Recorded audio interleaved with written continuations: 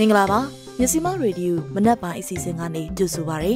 မြစီမရေဒီယိုဟာမြန်မာပြည်သူတွေအတွက်ထုတ်လွှင့်တင်ဆက်ပေးလျက်ရှိပါတယ်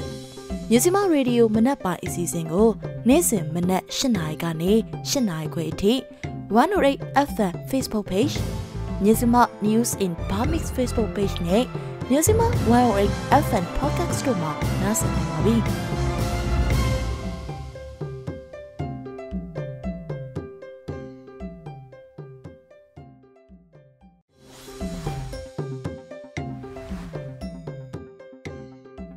င်္ဂလာပါခင်ဗျာမြန်မာနိုင်ငံသူနိုင်ငံသားအားလုံးဘေးကင်းလုံခြုံပြီးစိတ်ချမ်းသာကိုယ်ကျန်းမာရှိကြပါစေလို့မြစည်းမရေဒီယိုဖွဲ့သူဖွဲ့သားတွေကဆုတောင်းမေတ္တာပို့သလိုက်ပါတယ်။ဩဂတ်စ်လ15ရက်နေ့ကြာသပတေးနေ့မနက်ပိုင်းမြစည်းမရေဒီယိုစီစဉ်ကိုမြန်မာစံတော်ချိန်မနက်၈နာရီကနေ၈နာရီခွဲအထိစတင်ထုတ်လွှင့်နေပါပြီ။ကျွန်တော်စိုင်းခမ်းပါဒီကနေ့မနက်နားဆင်ရမယ့်အစီအစဉ်တွေကတော့စလင်းမှာစစ်ကောင်စီစစ်ကြောင်းတိုက်ခိုက်ခံရတာကြောင့်ပြန်လည်ဆုတ်ခွာသွားတဲ့တဲ့နဲ့အတူ စစ်ကောင်စီလေကြောင်းနဲ့လက်နက်ကြီးပစ်ခတ်မှုကြောင့်တီဘောမြို့မှာ9ရက်အတွင်းအရက်သား12ဦးသေဆုံးတဲ့သတင်းပါဝင် နောက်ဆုံးရပြည်တွင်သတင်းနဲ့နိုင်ငံတကာသတင်းတွေကိုနားဆင်ရပါမယ်။သတင်းတွေပြီးမှတော့မိုးရဒီမှာကလေးတွေကိုဘလို့ဂယူးဆိုင်မလဲဆိုတာပြောပြထားတဲ့ကလေးကျမ်းမာရေးလိုရာမေးစီစဉ်တွေကိုနားဆင်ရဖို့ရှိပါတယ်ခင်ဗျာ။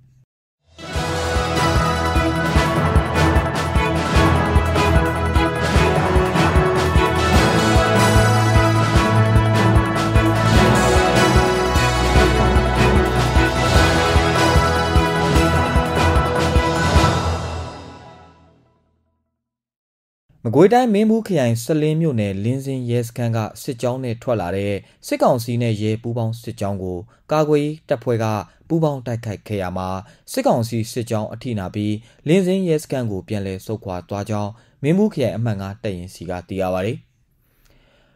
ဩဂတ်စ်လ23ရက်နေ့ကလင်းစင်းရဲစခန်းကနေအင်အား100ဝန်းကျင်နဲ့ထွက်လာတဲ့စစ်ကြောင်းဟာပေါက်မကြီးရွာရောက်ရှိနေချိန်တိုက်ခိုက်ခဲ့တာလို့မင်းဘူးခရိုင်အမှတ်9တပ်ရင်ပြန်ကြားရေးတာဝန်ခံ ကိုချိုကာကပြောပါတယ်။တိုက်ပွဲတွင်စစ်ကောင်စီတပ်ဖွဲ့ဘက်ကထိခိုက်မှုအခြေအနေကိုအသေးစိတ်မသိရှိရသေးပေမဲ့ထိခိုက်မှုတွေရှိနိုင်ကြောင်းနဲ့ကာကွယ်တပ်ဖွဲ့တွေဘက်မှထိခိုက်မှုမရှိခဲ့ဘူးလို့ကိုချိုကာကဆိုပါတယ်။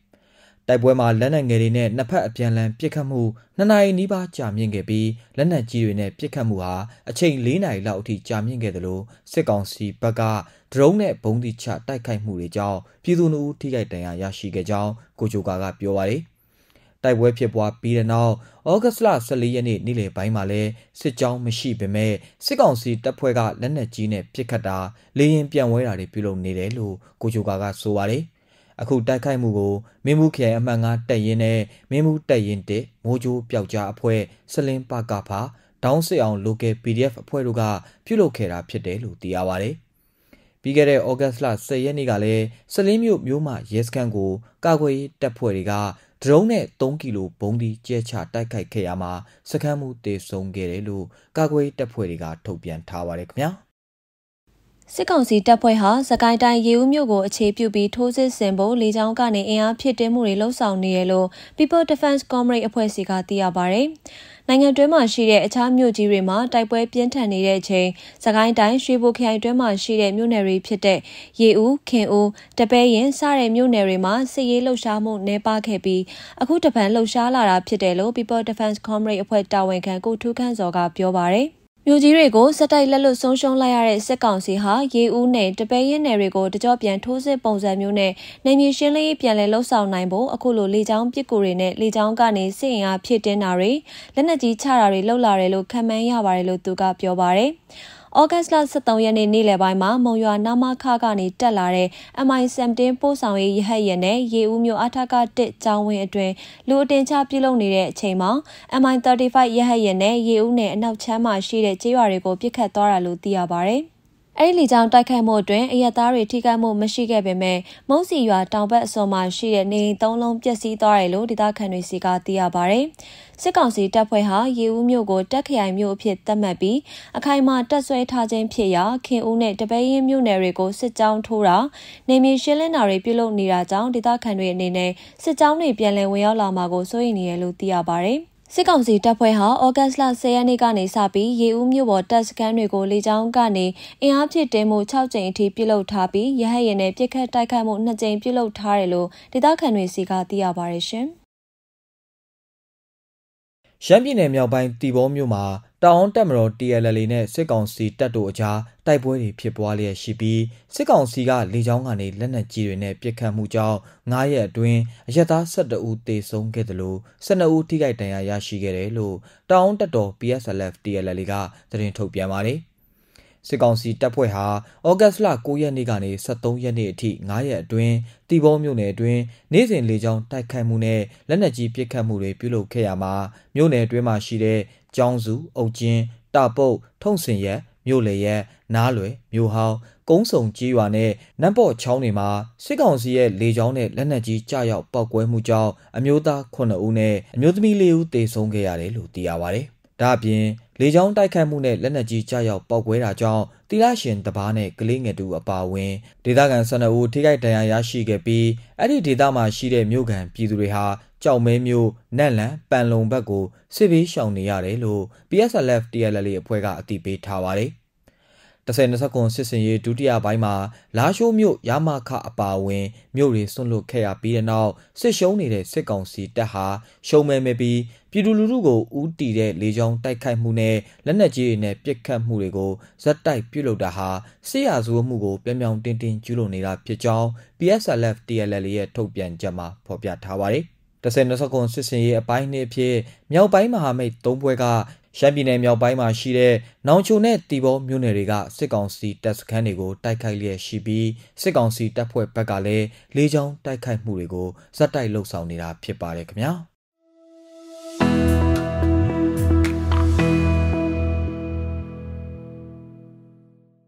ကြောက်စိမ့်မြေလို့နာမည်ကြီးတဲ့ကချင်ပြည်နယ်ဖားကန့်မြို့ရဲ့အနီးတစ်ဝိုက်အမြင့်ဆုံးတပ်စခန်းဖြစ်တဲ့လမောင်ကျေးရွာအခြေဆိုင်လမောင်တပ်စခန်းကိုကချင်လွတ်လပ်ရေးတပ်မတော်နဲ့ PKDF ပူးပေါင်းတပ်တွေကဩဂတ်စ်လ14ရက်နေ့မနက်2နာရီလောက်ကနေစတင်ကထိုးစစ်ဆင်နေတယ်လို့ဖားကန့်ဒေသခံတွေကမစ္စည်းမကိုပြောပါရယ် ဖားကန်းမြို့အနောက်ဘက်မှာရှိတဲ့လမောင်ကျေးရွာမှာတိုက်ပွဲပြင်းထန်နေဆဲဖြစ်ပြီးဒီကနေ့မနက်10:00နာရီခွဲလောက်မှာလမောင်တပ်စခန်းတပ်ဝိုက်ကိုစစ်ကောင်စီတပ်ကဂျက်ဖိုက်တာတစ်စီးနဲ့လေကြောင်းတိုက်ခတ်မှုတွေပြုလုပ်ခဲ့တယ်လို့ဆိုပါတယ်။ ဖားကဲမြို့ပြူဟာကုန်းကလည်းတိုက်ပွဲဖြစ်တဲ့နေရာနီးတဝိုက်ကိုလက်နက်ကြီးတွေနဲ့လမ်းပစ်နေရလို့ဒေသခံတွေကပြောပါတယ်။အဲ့ဒီလမောင်တပ်စခန်းဟာစစ်ကောင်စီတပ်ဖွဲ့ဝင်အင်အား90လောက်နဲ့တပ်ဆွဲထားတဲ့ပြူဟာမြောက်တပ်စခန်းတစ်ခုဖြစ်ပြီးတိုက်ပွဲကြောင့်လမောင်ကျေးရွာနဲ့ဆိုင်းကြပွင်ကျေးရွာကဒေသခံတွေလည်းထွက်ပြေးတိမ်းရှောင်နေကြရတယ်လို့ပြောပါတယ်။လက်ရှိမှာတိုက်ပွဲဆက်လက်ပြင်းထန်နေပြီးစခန်းသိမ်းခြင်းမရှိသေးပေမဲ့သိမ်းပိုက်ရရှိဖို့ KIA ပူးပေါင်းတပ်တွေကဆက်လက်ထိုးစစ်ဆင်နေတယ်လို့လည်းဒေသခံတွေကပြောပါတယ်။ လေကြောင်းတိုက်ခိုက်တာအထိခိုက်တော့မကြားသေးဘူးလို့အဲ့ဒီဖားကန်ဒေသခံကဆက်ပြောပါတယ်။အဲ့ဒီလမောင်စစ်ကောင်စီတပ်စခန်းအပြင်ဖားကန်မြို့အနောက်ဘက်ချမ်းမှာရှိတဲ့တောမော်စစ်ကောင်စီတပ်စခန်းကိုလည်း KIA ပူးပေါင်းတပ်တွေကတပြိုင်နက်တည်းဝင်ရောက်တိုက်နေတယ်လို့သိရပါတယ်။ဆီယနာသိမ်းပြီးရဲ့နောက်၃နှစ်ကျော်ကြာအင်တာနက်ဖြတ်တောက်ခံထားရတဲ့ဖားကတ်မြို့မှာဇူလိုင်လ22ရက်နေ့ကနေစတင်ပြီးဖုန်းလိုင်းတွေလည်းဖြတ်တောက်ခံထားရတဲ့အတွက်ဖားကတ်နေပြည်သူတွေဟာဆက်သွယ်ရေးခက်ခဲနေပြီးအဆင်မပြေဖြစ်နေကြပါတယ်။ဖား ကန်းမြို့တဝိုက်ကစစ်ကောင်စီတပ်စခန်းအများစုကို KIA KPDF ကသိမ်းပိုက်ကနေမြေစိုးမိုးမှုတွေရယူထားပြီးကန်စီပြူဟာကုန်းဖားကန့်ပြူဟာကုန်းဖားကန့်ရဲစခန်းဆိုင်းတောင်ရဲစခန်းလဲပြင်းတပ်စခန်းနဲ့အောင်ပါလီတပ်စခန်းတွေကျန်ရှိနေသေးတယ်လို့သိရပါတယ်ရှင်မြန်မာတနိုင်ငံလုံးကို73စီဖြန့်ဖြူးပေးနေတဲ့ရန်ကုန်တိုင်းကတီလဝါစိတ်ကမ်းမှာ73စီရရှိဖို့အတွက်စီတဲရင်100ကျော်တန်းစီဆောင်ဆိုင်နေတာဟာတ ပတ်ကျော်ကာလကိုရောက်ရှိလာပြီဖြစ်တယ်လို့တန်းစီဆောင်ဆိုင်နေသူတွေကပြောပါတယ်။73စီထုတ်ယူဖြန့်ဖြူးမှုအပေါ်စစ်ကောင်စီကထိန်းချုပ်ထားတာကြောင့်လိုသလောက်ဝယ်ယူခွင့်မရဘူးလို့ဆိုကြပါတယ်။73စီတွေကိုခွဲတန်းစနစ်နဲ့ပေးနေတာကြောင့်73စီထုတ်ယူသူတွေဟာရက်နေချီဆောင်ဆိုင်နေကြရတာလည်းဖြစ်ပါတယ်။ဩဂတ်လဆန်းပိုင်းကတည်းကရန်ကုန်မန္တလေးကချင်နဲ့နေပြည်တော်စတဲ့နိုင်ငံတော်ဝမှာ73စီဆိုင်တွေမှာ73စီပြက်လက်နေတာကြောင့် အကန့်အသတ်နဲ့သာဝယ်ယူနေကြရတာဖြစ်ပါတယ်။ရန်ကုန်မြို့မှာရှိတဲ့73စီဆိုင်အများစုမှာ73စီပြက်လက်နေပြီးဆိုင်တချို့ပိတ်ထားရကြောင်းစီရရှိနေသေးတဲ့ဆိုင်တွေမှာကားရန်ရှည်ကြီးတွေနဲ့ဆောင်းဆိုင်နေရပြီးလမ်းပိတ်ဆို့မှုတွေလည်းဖြစ်ပေါ်နေကြောင်းစီတန်းစီနေတဲ့ရင်မောင်းတွေကပြောပါတယ်။အလားတူမွန်ပြည်နယ်အတွင်းမှာလည်း73စီဝင်ရောက်မှုမရှိတဲ့အတွက်73စီဆိုင်အများစုမှာစီလုံးဝပြတ်တောက်သွားပြီးဝဝယ်မရတဲ့အခြေအနေနဲ့ကြုံတွေ့နေရတယ်လို့ဒေတာခန်တွေကပြောပါတယ်။ 73စီရောင်ဆိုင်တွေမှာလူသုံးများတဲ့ဓာတ်ဆီအမျိုးအစားအောက်တိတ်95နဲ့92တွေရဲ့ပြင်ဒီဇယ်အမျိုးအစားပရီမီယံဒီဇယ်နဲ့ရိုးရိုးဒီဇယ်တွေကအစားလုံးဝပြတ်လက်သွားတာဖြစ်ပါတယ်။73စီဝယ်ယူတဲ့နေရာမှာ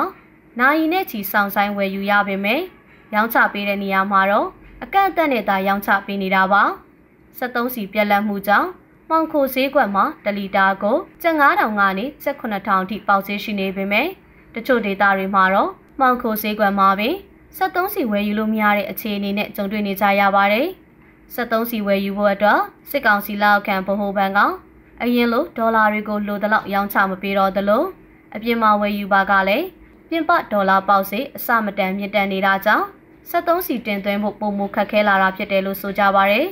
စစ်ကောင်စီရဲ့ဗဟိုဘဏ်ကတော့73စီအပါအဝင် တခြားရေးကြီးကုန်စည်တွေအတွက် အမေရိကန်ဒေါ်လာ6တန်းရောင်းချပေးထားတယ်လို့ဩဂတ်လ9ရက်နေ့ကထုတ်ပြန်ထားပါတယ်ဒေါ်လာဈေးတက်ပြီးဒေါ်လာရှားပါလာတာကြောင့်ပြည်ပကနေ73စီတင်သွင်းမှုလျော့နေလာပြီး73စီဆိုင်တွေမှာစီရှားပါမှုပြဿနာထပ်ဖြစ်လာကကာလတိုအတွင်းပြေလည်ဖို့မလွယ်ကူနိုင်ကြောင်းလုပ်ငန်းရှင်တွေကပြောကြားထားပါတယ်။73စီစေးကြီးမြင့်လာပြီးရှားပါလာတာကြောင့်အထွေထွေကုန်စည်နှုန်းတွေဟာလည်းထပ်မံမြင့်တက်လာနိုင်တယ်လို့လုပ်ငန်းရှင်တွေကခံမှန်းပြောကြားထားပါတယ်။ စကိုင်းတိုင်းမုံရွာမြို့နယ်ထနောင်းတော်တောင်ရွာဈေးအတွင်းကိုစစ်ကောင်စီတပ်ကလက်နက်ကြီးနဲ့ပစ်ခတ်ခဲ့တာကြောင့်ဒေသခံ12ဦးသေဆုံးပြီး10ဦးဒဏ်ရာရရှိသွားတယ်လို့မုံရွာအမြင့်လန်းသတင်းမှန်ပြန်ကြားရေးကထုတ်ပြန်ပါတယ်။ထနောင်းတော်တောင်ရွာဈေးအတွင်းကိုမုံရွာမြို့အဝင်မအူဂိတ်ကစစ်ကောင်စီတပ်သားတွေဟာဩဂုတ်လ23ရက်မနက်10:00နာရီကမှလက်နက်ကြီးနဲ့ပစ်ခတ်ခဲ့တာဖြစ်ပါတယ်။ အဲ့လိုပြစ်ခတ်မှုကြောင့်ဒေသတွင်းမှာရှိတဲ့ကြေးရွာ9ရွာကဈေးဝယ်ဈေးတဲ့အသက်73နှစ်ကနေ43နှစ်အတွင်းအရွယ်ရှိအမျိုးသမီး10ဦးနဲ့အမျိုးသား3ဦးသေဆုံးခဲ့ပြီး10ဦးဒဏ်ရာရရှိခဲ့တယ်လို့သိရပါတယ်။မအူဂိတ်မှာလက်နက်ကြီးတွေတပ်ဆင်ထားပြီးဒေသတွင်းကြီးရွာတွေကိုရန်တမ်းပစ်ခတ်လေးရှိတာကြောင့်လက်နက်ကြီးတကန်ရွာတွေအနေနဲ့ဘေးလွတ်ရာကိုပြောင်းရွှေ့နေထိုင်ကြစေလိုတယ်လို့လည်းဆိုပါတယ်။ ပြောင်းရွှေ့မနေနိုင်ပါကဘုံကိုကျင်းတွေတူပြီးအကာအကွယ်အောက်မှာနေထိုင်ကြခြင်းမျိုးဆောင်ရွက်ကြဖို့လဲစကိုင်းဖက်ဒရယ်ကောင်စီတာဝန်ရှိသူကအတည်ပြုပါတယ်။မုံရွာမြို့နယ်အတွင်းစစ်ကောင်စီလက်နက်ကြီးကြောင့်ထိခိုက်ဒေဆုံးမှုတွေကိုအမြဲလိုလိုကူညီတွေပေးခဲ့ပြီးအခုတိုက်ခိုက်မှုအတွက်လည်းအလူရှင်ရရှိလာမှုအပေါ်မူတည်လို့ကောင်စီအနေနဲ့ကူညီပေးနိုင်ဖို့ကြိုးပမ်းသွားမှာဖြစ်ကြောင်းလည်းသိရပါဗျ။ပြီးခဲ့တဲ့ဩဂုတ်လ23ရက်နေ့ကလည်းစစ်ကောင်စီတပ်ရဲ့ရန်တမ်းပစ်ခတ်မှုကြောင့် ထနောင်းတော်ရွာအပြင်ဘက်မှာရှိတဲ့အောင်သာကြီးရွာမှာဒေသခံတအူးတေဆုံးပြီးတအူးတန်ရာရရှိခဲ့တယ်လို့သိရပါဗျ။မူဂိတ်မှာစစ်ကောင်စီတပ်သား40ခန့်အထိုင်ချတပ်ဆွဲထားပြီးခရီးအသွားလာတွေကိုစစ်ဆေးငွေတောင်းတာတွေပြုလုပ်လေးရှိတယ်လို့သိရပါဗျ။ဒါအပြင်အဲ့ဒီစခန်းဟာဒေတာတွင်းစစ်ကြောင်းထိုးလှည့်လည်နေတဲ့တပ်တွေအဝင်ထွက်ပြူရာစခန်းထောက်ဖြစ်တည်ရှိနေတာဖြစ်တယ်လို့ကာကွယ်ရဲဘော်တွေကပြောပါတယ်ခင်ဗျာ။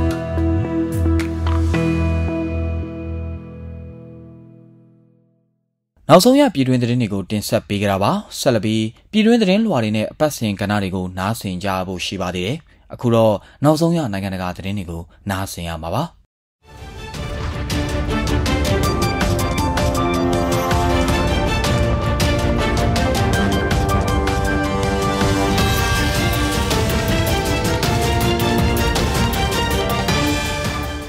လက်ရစွန်းအမျိုးသားလုံခြုံရေးဝန်ကြီးအိုင်တမာပင်ဂျီဘာကယာနဲ့ချီတဲ့အစ္စရေးလူမျိုးတွေကိုဦးဆောင်ပြီးဂျေရုဆလင်အရှေ့ဘက်မှာရှိတဲ့အဲလက်ဆာဗလီဝန်းထဲမှာအင်ကာနေကဂျူးအားလရဲ့အထိမ်းအမှတ်ဆူတောင်းပွဲတွေပြုလုပ်ခဲ့ပါတယ်။ပလီဝန်းအတွင်းမှာဂျူးတွေဝတ်ပြုတာကိုအစ္စရေးအစိုးရကကာလရှည်ကြာတားမြစ်ပိတ်ပင်ထားပေမဲ့မကြာခဏဖီဆန်လေးရှိသူပင်ဂျီဘာကဂါဇာကဟာမတ်စ်တွေကိုအနိုင်ယူမယ်လို့စိတ်ပိုင်းဖြတ်ထားတယ်လို့အခုတော်ရောက်တဲ့အချိန်မှာရိုက်ကူးထားတဲ့ဗီဒီယိုမှာပြောကြားခဲ့ပါတယ်။ တီဝွန်ကအစ္စလမ်ဘာသာရဲ့တတိယမြောက်အမြင့်မြတ်ဆုံးနေရာဖြစ်ပြီးပါလက်စတိုင်းအမျိုးသားရေးတေကေတာတစ်ခုဖြစ်တယ်လို့ AD 80မှာယောမတို့ရဲ့ဖျက်ဆီးခံခဲ့ရတဲ့ရှေးဟောင်းဖျားကျောင်းဖြစ်ဂျူးဘာသာရဲ့အမြင့်မြတ်ဆုံးနေရာလည်းဖြစ်ပါတယ်။အစ္စရေးတို့သိမ်းပိုက်ထားတဲ့အရှိဂျေရုဆလင်မှာရှိတဲ့ပလီဝွန်အတွင်းကိုဂျူးတွေနဲ့မွတ်စလင်မဟုတ်တဲ့အခြားဘာသာဝင်တွေကိုသတ်မှတ်ထားတဲ့အချိန်တွေမှာဝင်ရောက်ကြည့်ရှုခွင့်ပြုထားပေမဲ့ဆူတောင်းတာတွေဘာသာရေးအထိမ်းအမှတ်တွေပြုလုပ်တာကိုခွင့်ပြုမထားပါဘူး။ မကြသေးမီနှစ်တွေအတွင်းမှာကန့်သက်ချက်တွေကိုမလိုက်နာတဲ့ပန်ဂျီပါလိုသဘောထားတင်းမာတဲ့ဘာသာရေးအမျိုးသားဝါဒီတွေကပုံများလာတာကြောင့်ပါလက်စတိုင်းတွေကလည်းအပြင်းထန်ကတ်ကွက်လာပါတယ်။အင်္ဂါနေ့မနက်မှာပန်ဂျီဘာနဲ့အခြားအစ္စရေးနိုင်ငံသား2250လောက်ကအစ္စရေးရဲတွေရဲ့အကာအကွယ်နဲ့ဝန်းတွေအတွင်းမှာအုပ်စုလိုက်ဂျူးဓမ္မတချင်းတွေတီဆိုကသွာလာခဲ့ကြတယ်လို့ဒီနေရာကိုစောင့်ရှောက်နေတဲ့ဂျော်ဒန်အဖွဲ့အစည်း WAQF ကတာဝန်ရှိသူတအုပ်ကပြောကြားခဲ့ပါတယ်။ အစ္စရေးရဲတပ်ဖွဲ့ကဗလီဝတ်ကျောင်းတော်အတွင်းတွေကိုဝင်ရောက်ဖို့ကြိုးပမ်းနေတဲ့မွတ်စလင်ဝတ်ပြုလိုသူတွေကိုအတင်းကျပ်တားဆီးခဲ့တယ်လို့သူကပြောကြားခဲ့ပါတယ်။ဗလီဝတ်ကျောင်းတော်ကိုဝင်စီးတာနိုင်ငံတကာဥပဒေကိုပြောင်ပြောင်တင်းတင်းချိုးဖောက်ခဲ့တယ်လို့ဂျော်ဒန်နိုင်ငံသားရေးဝန်ကြီးဌာနကရှုံချခဲ့ပါတယ်ရှင်။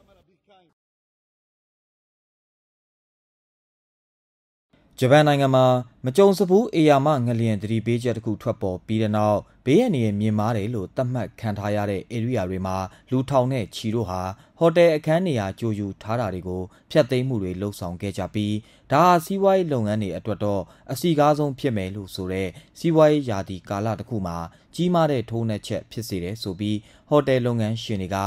ဂုတ်23ရက်နေ့မှာပြောပါတယ်။။ ဩဂုတ်၈ရက်နေ့ကလူ15ယောက်ထက်မနည်းဒဏ်ရာရခဲ့တဲ့ပြင်းအား9.1အဆင့်ရှိငလင်တစ်ခုနိုင်ငံတောင်ပိုင်းမှာလှုပ်ခဲ့ပြီးတဲ့နောက်အေယာမငလင်ကြီးတစ်ခုနောက်ဆက်တွဲလှုပ်လာနိုင်ခြေရှိတယ်ဆိုပြီးပြီးခဲ့တဲ့သတင်းပတ်ကဂျပန်မိုးလေဝသအေဂျင်စီကထုတ်ပြန်ခဲ့တာဖြစ်ပါတယ်။မကြုံစဘူးပထမအကြိမ်ထွက်ပေါ်လာတဲ့အဲ့ဒီသတိပေးအကြံပြုချက်အရ အေယာမငလင်ကြီးတစ်ခုမကြခင်တေချာပေါက်လှုပ်တော့မယ်လို့အတိတ်ပဲမတက်ရောက်ပေမဲ့အဲ့ဒီလိုမျိုးငလင်မျိုးလုံးမဲ့ဘေးအန္တရာယ်ကလက်ရှိမှာမြင့်တက်နေတဲ့ဆိုတဲ့သဘောဖြစ်ကြောင်းအာနာပိုင်တွေကပြောထားပါတယ်အခုသတိပေးချက်အရနန်ကိုင်းပြက်ရွေကျော်လို့ခေါ်တဲ့တိုကျိုအနောက်ဘက်ရှီဇူအိုကာမြို့ကနေကျူရှူးကျွန်းတောင်ဘက်အဖျားစွန်းအထိဖြစ်တဲ့ကီလိုမီတာ80မိုင်900ပင်လယ်မျက်နှာပြင်အောက်ဇုံတစ်လျှောက်မှာငလင်ကြီးလှုပ်နိုင်တယ်ဆိုပြီးသတိပေးထားတာဖြစ်ပါတယ် အစိုးဆုံးထိခိုက်နိုင်တယ်လို့ခံမှန်းရတဲ့ဒေတာတွေတဲကအနောက်ဘက်ကိုချီစီရင်စုမှာတော့ပြီးခဲ့တဲ့သတင်းပတ်အေယာမငလင်သတိပေးချက်ထုတ်ပြန်ပြီးတဲ့နောက်လူပေါင်း9400ထက်မနည်းဟာသူတို့ရဲ့ဟိုတယ်ဘုကင်လုပ်ထားမှုတွေကိုဖျက်သိမ်းခဲ့တယ်လို့ဒေသဆိုင်ရာဟိုတယ်အသင်းအဖွဲ့တစ်ခုထံကနေသိရပါဗျ။အဲ့ဒီဖြတ်သိမ်းမှုတွေဟာဩဂတ်စ်လ9ရက်နေ့ကနေ18ရက်နေ့အထိခြုံငုံနေတာဖြစ်ပြီးအဲ့ဒီလိုဖြတ်သိမ်းမှုကြောင့်ဝင်ငွေပိုင်းမှာ ရန်တန်140ဒေါ်လာ9,4800လောက်ဆုံးရှုံးမှုဖြစ်စေတယ်လို့ဟိုတယ်အသင်းအဖွဲ့ကိုယ်စားလှယ်တူက AFP ကိုပြောပါတယ်အခုအေယာမငလင်သတိပေးချက်ဟာဂျပန်နိုင်ငံရဲ့တနစ်တာအိုဘွန်အားလရဲ့ကာလနဲ့တိုက်ဆိုင်နေပြီးအဲ့ဒီကာလကတော့ခီးသွွားလုပ်ငန်းတွေအတွက်အလုံများတဲ့ယာတီတစ်ခုဖြစ်တယ်လို့ဂျပန်နိုင်ငံသားအများပြားဟာအဲ့ဒီကာလမှာသူတို့ရဲ့ဇာတိနယ်တွေစီတွားကြပြီးဘိုးဘေးတွေကိုတွားရောက်ဂါရဝပြုတာတွေပြုလုပ်ကြလေရှိတာဖြစ်ပါတယ် ပုံမှန်ဆိုရင်တော့ကျွန်တော်တို့မျိုးကဟိုတယ်အကြီးအသေးအကုန်လုံးမှာကဒီလိုကာလမျိုးမှာအခန်းနေရာကြိုတင်ယူတာတွေနဲ့အပြည့်ဖြစ်နေပါလိမ့်မယ်လို့နီရှီတာနီကပြောပါတယ်အနီးနားမက်ဆူယာမာမြို့မှာလည်းနောက်ထပ်ဟိုတယ်ဘိုကင်ဖြတ်သိမ်းမှုထောင်ချီဖြစ်နိုင်ပွဲရှိတယ်လို့ NHK သတင်းဌာနကပြောပါတယ်။ ငလင်ဆိုင်ရာလှုပ်ရှားမှုနဲ့ပတ်သက်လို့ပုံမှန်မဟုတ်တဲ့အခြေအနေတွေမတွေ့ရင်တော့အခုသတင်းပတ်ဩဂတ်လ15ရက်နေ့မှာအေယာမငလင်သတိပေးချက်ကိုရုပ်သိမ်းပွဲရှိတယ်လို့ပြည်တွင်းသတင်းမီဒီယာတွေကဖော်ပြကြပါတယ်။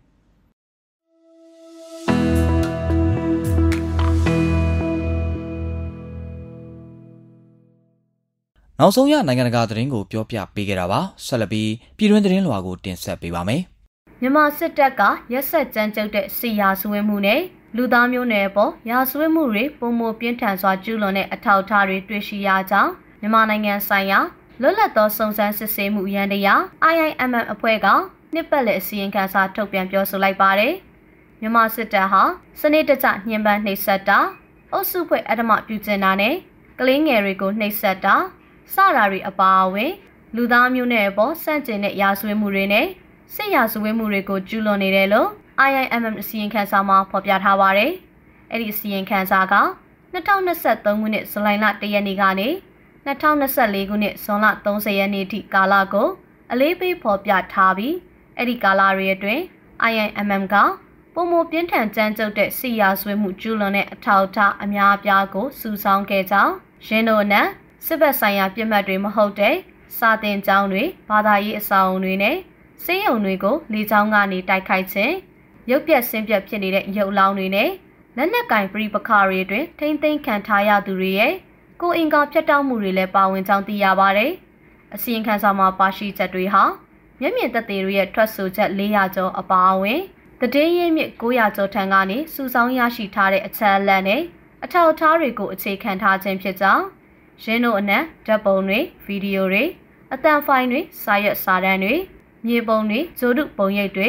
ဆိုရှယ်မီဒီယာပို့စ်တွေနဲ့မှုခင်းစေးပညာဆိုင်ရာအထောက်အထားတွေပါဝင်ကြောင်းလည်းသိရပါဗျ။ထောင်နဲ့ချီတဲ့ပြည်သူတွေဖမ်းဆီးခံရတာမှာအဲ့ဒီထဲကအများအပြားဟာလည်းညှဉ်းပန်းနှိပ်စက်ခံရတာဒါမှမဟုတ်အကျဉ်းကျနေစဉ်အတွင်းတေဆုံးခဲ့တာတွေရှိခဲ့တယ်လို့လည်းဆိုပါတယ်။မြန်မာနိုင်ငံအတွင်းလက်ရှိဖြစ်ပေါ်နေတဲ့စစ်ပွဲတွေနဲ့ပြည်ပခါတွေကြောင့်လွန်ခဲ့တဲ့6လအတွင်းအိုးအိမ်ဆွန့်ခွာထွက်ပြေးရသူ3တန်းကျော်ထိရှိလာနေပြီလို့လည်း IIMM ရဲ့အစီရင်ခံစာမှာဖော်ပြထားပါတယ်။မြန်မာနိုင်ငံမှာအကြမ်းဖက်မှုတွေတိုးလာတာကိုကုလသမဂ္ဂကရှုံချခဲ့ပြီးစစ်ကောင်စီနဲ့လူနည်းစုတိုင်းရင်းသားတွေရဲ့ကြားအရက်သားတွေကြားညက်နေတာကိုအလွန်အမင်းစိုးရိမ်တယ်လို့ကုလသမဂ္ဂအတွင်းရေးမှူးချုပ်အန်တိုနီယိုဂူတာရက်စ်ရဲ့ပြောရေးဆိုခွင့်ရှိသူဖာဟန်ဟပ်ကပြောပါရယ်ရခိုင်ပြည်နယ်မောင်တော်မြို့နယ်ရှမ်းပြည်နယ်လာရှိုးမြို့တို့မှာအရက်သားတွေတိုက်ပွဲရှောင်ရင်းနဲ့ တပ်ဖြတ်ခံရတဲ့သတင်းတွေကသတိပေးနေတယ်လို့သူကဆိုပါတယ်။အရက်သားတွေနဲ့အရက်ဖက်အစာအုံတွေကိုကာကွယ်ပေးရမယ်အပြည်ပြည်ဆိုင်ရာလူသားချင်းစာနာမှုဥပဒေပါပြဋ္ဌာန်းချက်တွေကိုလိုက်နာဆောင်ထိန်ကြဖို့အတွက်လည်းပြည်ပခဖြစ်ပွားနေတဲ့အဖွဲ့အစည်းအလုံးကိုကုလသမဂ္ဂအဖွဲ့ကသတိပေးပြောကြားထားပါတယ်။မြန်မာနိုင်ငံမှာလူဦးရေ19တန်းနီးပါးဟာအကူအညီတွေလိုအပ်နေပြီးအဲ့ဒီထဲမှာ6တန်းဟာကလေးငယ်တွေဖြစ်တယ်လို့လည်း UN OCHA ကဆိုပါတယ်။ မြန်မာနိုင်ငံအတွက်လူသားချင်းစာနာမှုအကူအညီ American ဒေါ်လာတန်းတစ်ထောင်နီးပါးလိုအပ်ပေမဲ့လက်ရှိချိန်ထိ214တန်းသာရရှိထားတယ်လို့လည်းဆိုထားပါတယ်။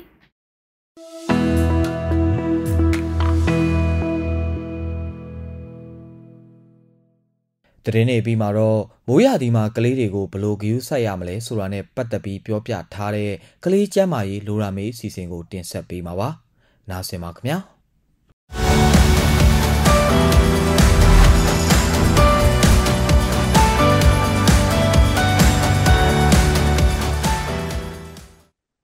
ပရိသတ်များအားလုံးပဲမင်္ဂလာပါရှင်ကလေးကျမ်းမာရေးလူဒါမေးအစီအစဉ်ကနေကြိုဆိုလိုက်ပါတယ်ဒီတစ်ပတ်စီစဉ်မှာတော့မိုးရွာသီမှာကလေးတွေကိုဘယ်လို view site တင်လဲဆိုတဲ့အကြောင်းအရာတွေကိုတင်ဆက်ပေးတော့မှာပဲဖြစ်ပါတယ်ဒီစီစဉ်မှာမိုးတို့ရဲ့ပင်တိုင်းဆရာဝန်ဖြစ်တဲ့ဒေါက်တာကိကိုလည်းဖိတ်ခေါ်ထားပါတယ်ရှင်ဆရာကြီးမင်္ဂလာပါရှင်ဟုတ်ကဲ့မင်္ဂလာပါခင်ဗျဟုတ်ကဲ့ပါဆရာမိုးရာသီကဒီကလေးတွေအတွက်ယောဂအကုသနိုင်ဆုံးကာလဆိုပြီးတော့သိထားကြပါတယ်ဆရာဒါကြောင့်မို့လို့မိုးရာသီမှာကဘယ်လိုယောဂတွေကအဖြစ်များတာလဲဆိုတာကိုအရင်ဆုံးရှင်းပြပေးပါဦးနော် ဟုတ်ကဲ့ကျွန်တော်ဒီမိုးရာသီမှာဖြစ်များတဲ့အကြောင်းရင်းကတော့ဒီသူတို့ရဲ့ရာသီဥတုပေါ့နော်ဒီအရန်ဆွဆွတဲ့ရာသီဥတုဖြစ်တယ်ဆွဆွတဲ့ဒီမြောင်းတွေရေရှမ်းတာအစားဒီပို့ပြီးတော့ယောဂပိုးတွေကပေါက်ဖို့လွယ်တယ်ပြတ်မှုလွယ်တယ်ပေါ့နော်ပြတ်မှုလွယ်တယ်ပြီးတော့အစားအစာရေးဟိုအဝတ်အစားတွေအစား၆ဖို့ကလည်းခက်တယ်ညစ်ပတ်လွယ်တယ်ပေါ့နော်အဲ့တော့ကျွန်တော်တို့အများအားဖြင့်တော့ဒီလိုဆွဆွပြီးတော့ဒီ တန်ရှင်းမှုပို့ပြီးအားနည်းစေတဲ့ယာတိမျိုးမှာဆိုရင်ဒီယောဂပိုးတွေပို့ပြီးတော့ပြည့်နိုင်တာပေါ့နော်အဲ့တော့ကျွန်တော်တို့ဒီမှာကျွန်တော်တို့အတွေ့အအများဆုံးယောဂတွေပေါ့နော်မွေးရာသီမှာကူးစက်တာအများဆုံးကတော့ထိတ်ဆုံးမှရှိတာတော့ဒီဟိုပါပေါ့နော်တုတ်ကွေးပေါ့ယာတိတုတ်ကွေးပေါ့ယာတိတုတ်ကွေးနဲ့တူပါဖြစ်တယ်ဆိုတော့ဒီချင်းကိုက်လို့ဖြစ်တဲ့တွန်းတွန်းတုတ်ကွေးရှိမယ်ပြီးတော့ရင်ဒီအစားအစာနေပူပြီးတော့ဝမ်ရှုံဝမ်ပြက်တွေရှိဖြစ်တာရှိတယ်ဒီကာလာဝမ်ယောဂါတွေဖြစ်တာရှိတယ်နောက်ပြီးတော့ရင်ဒီဥယောင်လန်းဖျားပေါ့နော်တိုက်ဖိုက် ဆိုတာမျိုးဖြစ်တာရှိတယ်ပေါ့နော်ပြီးတော့ရင်ဒီဂျာလီတကူကနေပို့ပြီးဆိုးပြီးတော့ဒီဘက်တီးရီးယားတွေကဝင်ပြီးတော့ဒီနမိုနီးယားခေါ်တဲ့အဆုတ်ရောင်ရောဂါတွေဖြစ်တာရှိတာပေါ့နော်အဲ့ဒါတွေမကဘူးပေါ့နော်ဒီ virus တွေကြောင့်ဖြစ်တဲ့ဒီကျွန်တော်တို့ဒီ harmful mouth လို့ခေါ်တဲ့ဒီပါးစပ်တွေလက်တွေခြေထောက်တွေမှာကြိုင်တူအဖုတွေအနာတွေထွက်တတ်တဲ့ virus ပိုးမျိုးတွေလည်းဝင်တတ်တယ်ပေါ့ပြီးတော့ဒီကျွန်တော်တို့ဒီ အဝတ်စားတွေကမချောက်တာရဲ့ဒီအဆိုးပြန်တာရဲ့ပေါ့နော်ဒီရှော်ရခတ်တာရဲ့အကြောင်းဒီဒီကာလမှာဆွတ်ဆွတ်အမြဲတမ်းဆွတ်ဆွတ်နေတဲ့ဟာရဲ့အကြောင်းဆိုတော့အများကြီးအရေးပြားယောဂတွေဖြစ်များတယ်ပေါ့ဥပမာခြေထောက်မှာအရက်ထဲမှာလူတွေအလွယ်ခေါ်တဲ့တဲဝဲစားရဲဆိုတာမျိုးတွေရားနာရည်လည်းဒီရည်မှာဖြစ်များတာပေါ့နော်အဲ့တော့အဲ့ဒီဟာကိုကျွန်တော်တို့ဒီမိုးရဒီမှာဘယ်လိုကာကွယ်ရမလဲဆိုတော့အဖြစ်များတဲ့ဟာတွေကိုကျွန်တော်တို့ဒီစိတ်ထဲမှာထားပြီးတော့ သက်ဆိုင်တဲ့ယောဂတွေနဲ့ဆိုင်တဲ့ကာဝယ်နည်းတွေကိုလိုက်ပြီးလှုပ်ဆောင်ဖို့လိုတာပေါ့နော်ဥပမာကျွန်တော်တို့ influencer ဒီယာဒီတုပ်ကွေးကိုကာဝယ်မယ်ဆိုရင်ဒီယာဒီတုပ်ကွေးကဒီလေတွေကနေပိုးတွေကူးတတ်တယ်အဲ့တော့ကျွန်တော်တို့အပြင်သွားရင် mask pressure တက်သွားတယ်လူထူတဲ့နေရာတွေကိုရှောင်တယ်ပေါ့နော်ကျွန်တော်တို့ဒီ covid တော့လုတ်ခဲ့လို့ယာဒီတုပ်ကွေးဆိုတဲ့ကာလမှာလုတ်ခဲ့လို့ပေါ့နော်ဖြစ်ပြီးဆိုရင်အိမ်မှာ pressure နားတယ်ဒီအာဟာရရှိတဲ့ဟာကိုစားတယ်လိုအပ်တဲ့ဆေးတွေတောက်တယ်စသဖြင့်ပေါ့နော်ဒါကတော့ဒီယာဒီတုပ်ကွေးနမိုးနီးယားတွေကတော့ဒီဒီလိုကာဝယ်ကြတာပေါ့ ပြီးတော့ကျွန်တော်တို့ဒီအဖြစ်များရဲ့ဒီတွင်းတွန်းတုပ်ကွေးပေါ့ဒုလွန်တကွေးကြောင့်လည်းကျွန်တော်တို့ဒီဒုလွန်တကွေးအပတ်ကပြောခဲ့တယ်လို့ပေါ့နော်ဒီဒုလွန်တကွေးကခြင်ကိုက်လို့ဖြစ်တယ်အဲ့တော့ဒီမိုးရသည်မှာအများအားဖြင့်ခြင်တွေပေါက်လွယ်ခြုံတွေတက်လာတယ်ရေတွေတက်လာတယ်အဲ့တော့ကလေးတွေကိုခြင်မကိုက်အောင်ဒီ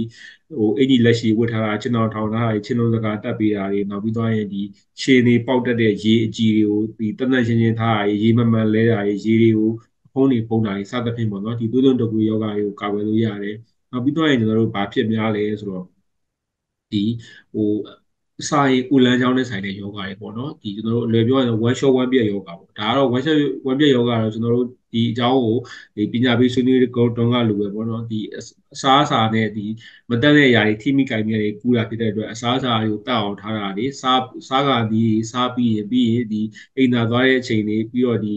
မတတ်နိုင်ဘူးကိုင်မိတဲ့အချိန်တွေမှာလက်ကိုတေချာဆေးတာတွေအစားအသောက်တွေကိုတေချာချက်ပြုတ်တာတွေပေါ့နော်ဒါတွေစသဖြင့်ကာကွယ်လို့ရတာပေါ့ ဒီလိုဖြစ်လာခဲ့ရင်လည်းကျွန်တော်တို့ဒီတစားတိုက်တာလိုအပ်တဲ့ဆေးတိုက်တာပြီးရင်အစာကိုတတ်အောင်ကျွေးတာပေါ့နော်ပြီးရင်စိုးရင်ရရင်ဆေးုပ်ဆေးကန်တော့တာစားသဖြင့်ဒါကုသကာကွယ်ပြီးကုသရတာပေါ့နော်ဒါပေမဲ့ကျွန်တော်တို့ဒီမိုးရသည်မှာကျွန်တော်တို့တတိထားရတာဗာလဲဆိုတော့ရိုးရိုး one shot one ပြမဟုတ်ဘဲနဲ့ကာလာ one ယောဂလို့ခေါ်တာပေါ့နော်သူကအဲ့အဲ့ဟာကျတော့သူကတီးတန့်ပိုးတစ်မျိုးကြောင့်ဖြစ်ပြီးတော့ပိုပြီးပြင်းထန်တယ် အဲကာလာဝါယောဂဆိုရင်ကျွန်တော်တို့ကဒီဆန်ဆေးရေရောင်ဝမ်းလျှောတာတွေအရေးကြီးပဲတနေကုန်စတိုက်မေရတန်းလျှောတာတွေပြီးရင်တရက်တရက်နဲ့တွေချက်ချင်းကလေးအောင်လို့ပျော့ကြပြီးတော့မြော့ကြသွားတာရှိတာပေါ့နော်ကာလာဝါယောဂကတော့ဒီအသက်အန္တရာယ်ဖြစ်တဲ့အထိဝမ်းသွားတဲ့ယောဂမျိုးဖြစ်တာကြောင့်အဲ့လိုမျိုးဒီဝမ်းဖြူအောင်နေသွားတယ်အရန်အားဟိုအရန်ကလေးကနှုံးသွားဆိုတော့ဆေးရုံဆေးကောင်ချက်ချင်းပြေးဖို့လိုတာပေါ့နော် ကာကွယ်နည်းကတော့ဒီဝမ်ရှောင်းဝမ်ပြက်ကာကွယ်နည်းအတိုင်းပါပဲဒီအဲဟိုအစားအစာတွေလက်တွေပေါ့နော်ဒီအသုံးဆောင်တွေအားလုံးတောက်အောင်ထားဖို့လိုတာပေါ့နော်နောက်တစ်ခုကလည်းဒီ type 5ပေါ့ဒီ type 5ဆိုတာကျတော့ကျွန်တော်တို့ဒီဘာသူကကျတော့ဘာထူးခြားလဲဆိုတော့ဒီရှားရည်နဲ့မတူတာဒီဥရောင်ငန်းဖျားလို့ပြောတဲ့တော့ဘိုင်းအောင်နာကြီးဖြစ်တယ်ပေါ့နော်ပြီးဥတွေရောင်တွေပေါ့ဒါပေမဲ့သူ့ရဲ့ပြဿနာပါလဲဆိုတော့အဲဟိုယောဂဘိုးဝင်ပြီးတော့ဒီ9ရက်လောက်ကြာမှဖြစ်တော့တော့9ရက်လုံးဖျားနေတဲ့နိုင်ရှိတာပေါ့နော်အဲ့တော့ကျွန်တော်တို့ဒီကလေးတွေမှာတော့ဒီသဘောတရားတော့ကျွန်တော် 3ရက်လောက်5ရက်လောက်ထိတုပ်ကွေးကြောင့်ဖျားတတ်ပေမဲ့9ရက်ကျော်လာရင်9ရက်ဆိုကျွန်တော်တို့ကဒီစီလန်းကြောင့်ပိုးဝင်တာတွေဒီဥယောင်ငန်းဖျားဖြစ်တာတွေတခြားဟိုပြင်းထန်တဲ့အဖျားယောဂါတွေစစ်ဆေးရတာရှိတာပေါ့နော်အဲ့တော့ဒီ typhoid ကိုကာကွယ်ဖို့ဆိုလဲကျွန်တော်တို့ဒီအစားအသောက်တွေကစအကုန်တန့်အောင်ထားတာ အပြင်ပေါ့နော်ဒီအဖျား9ရက်ကျော်လာရင်9ရက်ကျော်လာရင်စေကန်းသွားတာဥပမာကလေးကဝမ်းနေချုပ်လာတယ်ဗိုက်တွေအရင်နာလာတယ်အန်လာတယ်ဆိုရင်ဒီစေုပ်စေကန်းကိုပြဖို့လိုရတယ်ရှိတာပေါ့နော်အဓိကတော့ဒီမိုးရသည်မှာဒီဝမ်ယောဂါကာလာဝမ်ယောဂါဥယောင်ငန်းဖျားယောဂါတွေဖြစ်နိုင်တယ်ဆိုတော့စိတ်ထဲမှာထားထားရင်တော့ဒီမပေါ်မပေါ်ဆမိတော့ဘူးပေါ့နော်နောက်တစ်ခုကတော့ဗာလဲဆိုတော့ဒီ အရေးပြားတဲ့ဆိုင်တဲ့ယောဂါတွေပေါ့အရေးပြားတဲ့ဆိုင်တဲ့ယောဂါတွေမှာလည်းသူကအများကြီးရှိတာပေါ့ဆိုတော့ဘက်တီးရီးယားကြောင့်ဖြစ်တဲ့အရေးပြားယောဂါတွေမှုကြောင့်ဖြစ်တဲ့အရာတွေပေါ့နော်အစသဖြင့်အစုံရှိတာပေါ့ပြီးရင်ဟိုကပ်ပါးကောင်တွေကြောင့်ဖြစ်တာရှိတာပေါ့အဲ့တော့အများဒီကဟို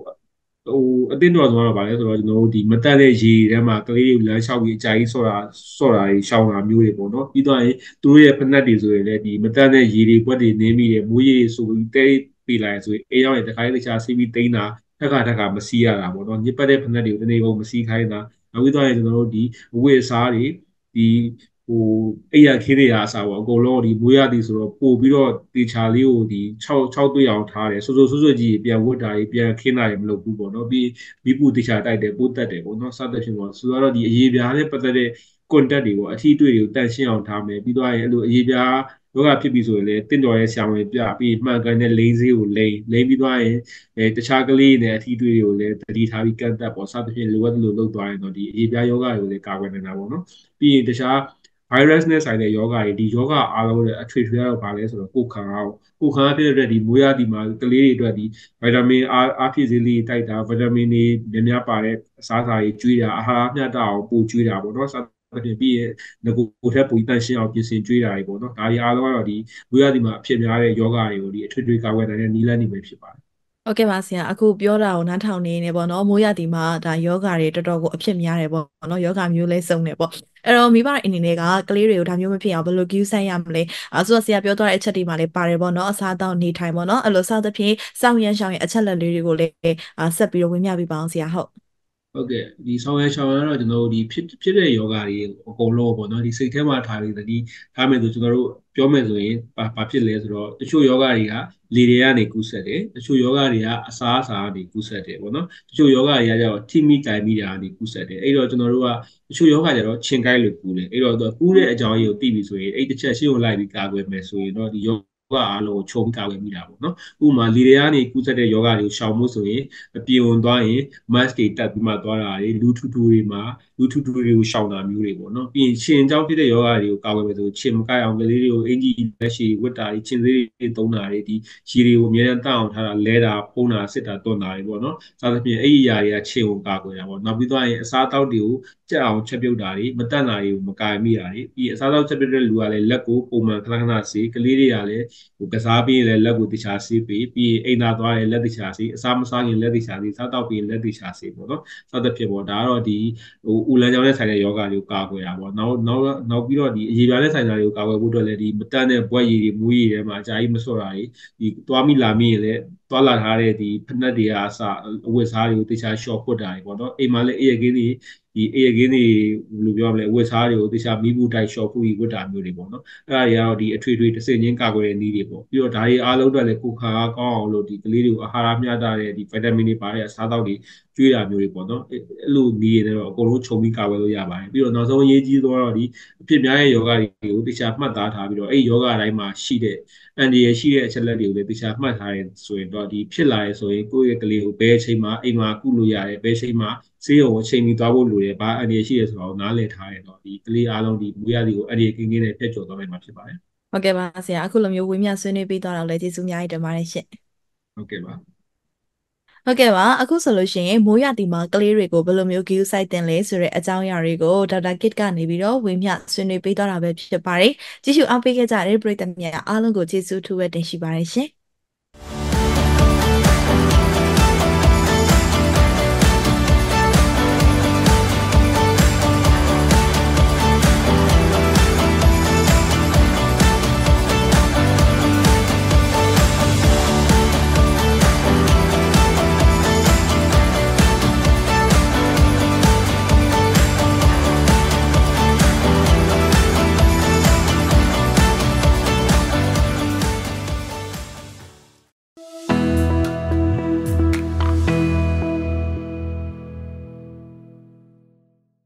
ကျွန်တော်တို့မြစည်းမရေဒီယိုကထုတ်လွှင့်နေတဲ့သတင်းစီစဉ်တွေသတင်းဆောင်ပါတွေဆက်သွယ်မေးမြန်းချက်တွေနဲ့ပတ်သက်ပြီးဒေါတာရှင်တို့အနေနဲ့ဝေဖန်အကြံပြုချက်တွေနဲ့ရင်ဖွင့်ပြောပြခြင်းတဲ့အကြောင်းအရာတွေကိုကျွန်တော်တို့ရဲ့108 FM Facebook Page က Messenger နဲ့မြစည်းမရေဒီယိုစောင်းပါရှင်ဆိုတဲ့ Telegram Group ကိုစာရေးသားပေးပို့နိုင်ကြပါတယ်။ဒေါတာရှင်တို့ရဲ့ဝေဖန်အကြံပြုချက်တွေကိုကြိုဆိုပါရခင်ဗျာ။